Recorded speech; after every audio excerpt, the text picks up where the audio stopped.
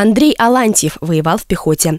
На фронт попал в 41-м, дошел до Берлина, где и погиб, так и не встретив самый долгожданный день в жизни – День Победы. Теперь в память о нем в Одинцово растет молодая липа. Ее посадила дочь погибшего солдата Тамара Маслова. Акция «Лес Победы» – дело общее, но каждый ее участник думает о ком-то своем. Дед у меня был военным корреспондентом, и в Берлине погиб, и все у бабушки три брата тоже, они были шоферами, дошли до Берлина.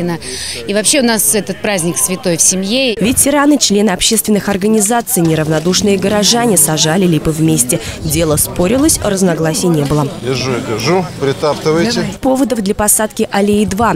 Первый, разумеется, День Победы. Второй – 75-я годовщина наступления советских войск в битве под Москвой. Деревья эти вырастут, появится лес уже победы.